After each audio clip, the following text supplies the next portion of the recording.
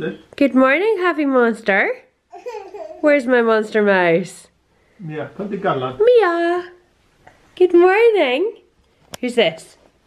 yeah, say hi. Come and get your suit on. Come and get your snowsuit on. This can become the new brave. Yeah. That's Mia. Yes. Yes. Yay. Let's go. Good morning, everyone.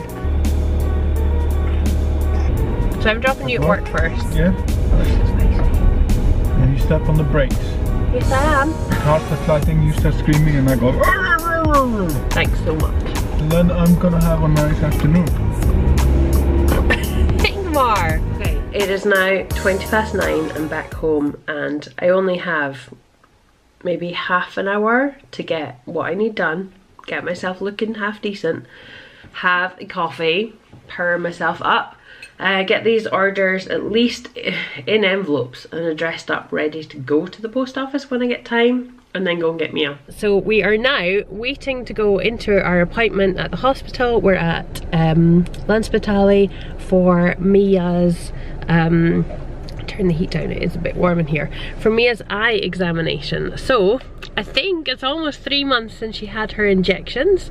Um, for those of you who don't know, Mia was born with strabismus, which is kind of like cross-eyed um, or lazy eye. Basically her eyes could work independently. So she has a strong right eye, her left eye is the weaker one.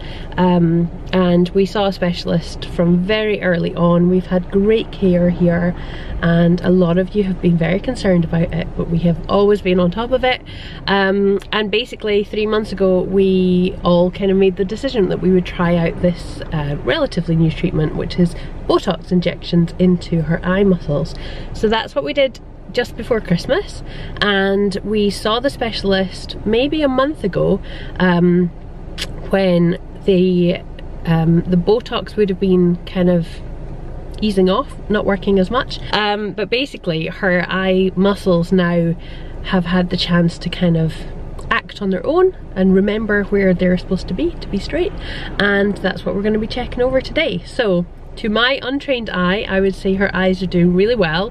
Her right eye looks like it's perfect. Um, her left eye is slightly going inwards, but I think it's more when she's tired. So I'm not sure what the, they're gonna say today and what the treatment might be. Um, she can have two more injections in her eyes and also they can vary the dosage of it. So I'm definitely all for um, getting everything done that we can do for her now while she's super young and not really affected by it. And she's kind of young enough to not remember and to heal from it really quickly. So hopefully that's what we're gonna do. Um, yeah and I'll you know I'll update you as we go. Okay so that was pretty much a disaster. Um, we went in, I put her ID number in and it registered us for the appointment. So there is an appointment somewhere within the hospital system, but it wasn't there. And so I waited for like half an hour, changed her nappy, played with her, entertained a whole bunch of grannies. Um, and it then asked at reception and she said nope because everything's done computerized um, so somewhere within the hospital she has an appointment but I have no way of finding out where really because yeah I phoned the switchboard support thing and he couldn't help me and Ingemar's in a meeting right now.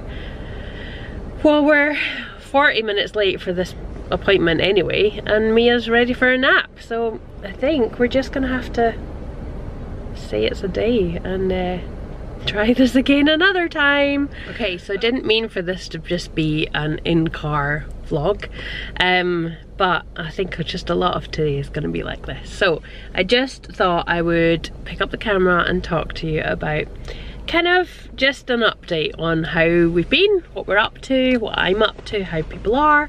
Um, and kind of why I've taken a bit of a break from vlogging. So I'm currently sitting outside of Ingemar's work. He might come out anytime soon. So I realised that I'm probably pretty hungry. That's why I'm getting a bit of a headache. So I just ran into um, Krona and bought a smoothie because with protein in it just to try and fuel myself a little bit because I've been really, really bad at remembering to eat because I just don't really have time to stop and feed myself. Um, and I think that's quite a common thing for mums who are busy running around and juggling a whole load of things. Um, but I did this before I became a mum. I've always been pretty bad at feeding myself and remembering to eat. So that is a big priority at the moment. I'm actually doing a bullet journal and I'm trying to track how much water I'm drinking and that I'm having three meals and snacks throughout the day which I don't often snack, but this is my new thing. So three pints of water is my aim. A coffee in the morning, a good breakfast, which I always do.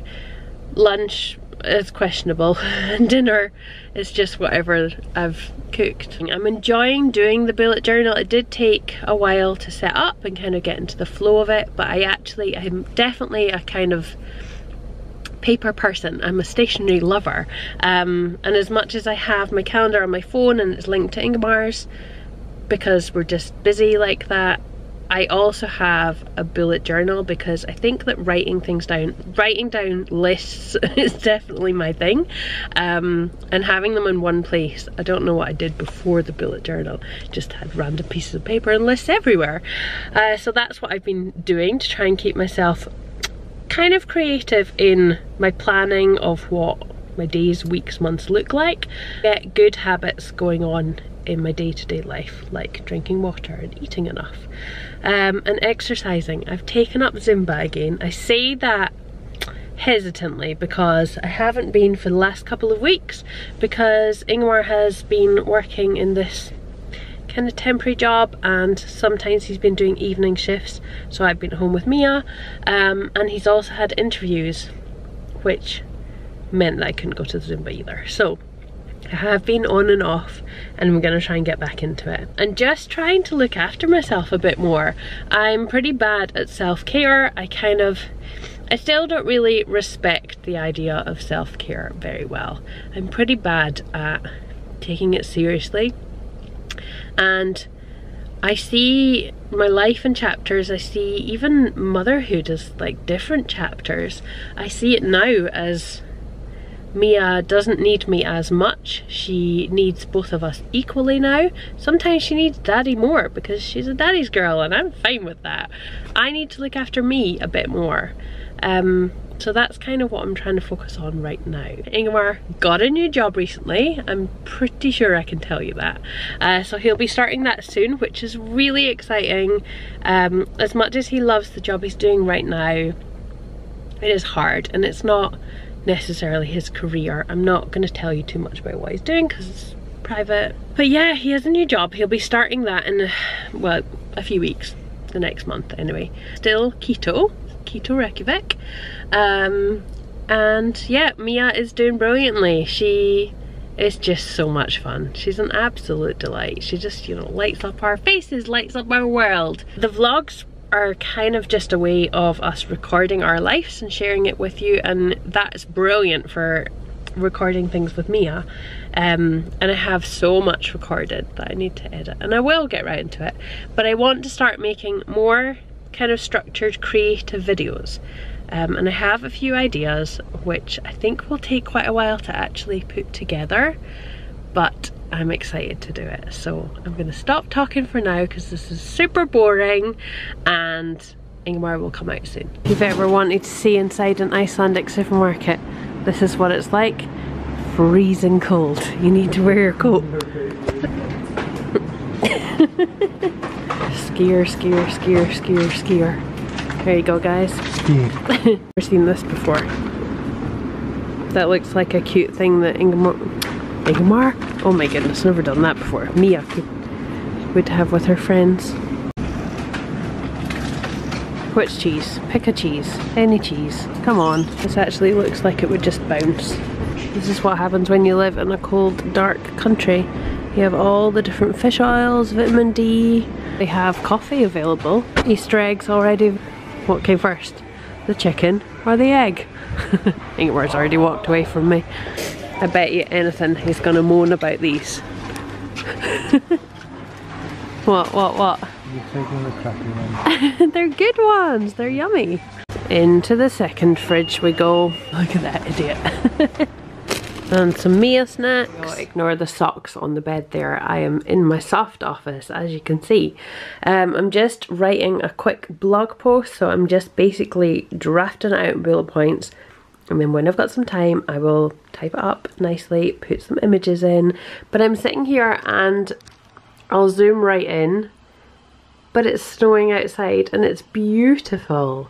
I feel like I kind of, sometimes I love it, sometimes I get a bit sick of it because we're March now and it's still snowing pretty heavily. This is hilarious. I'm gonna try and get this blog post up because I want to do at least a blog post a month, like a decent kind of, not essay sort of style one, but something that I'm really contributing some good information, good opinions, in my opinion, onto the website and yeah, my mum is coming over later on this week, so that's exciting.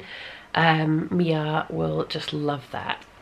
But I've also listed out a load of pictures that I want her to take so she can be my photographer. Uh, so thanks in advance, Gran Rosa. Here's my delivery. Hello, little miss. Yay! Hi. Hi. You are still a little bit of a snot bag. I got you. Oh. no chat then.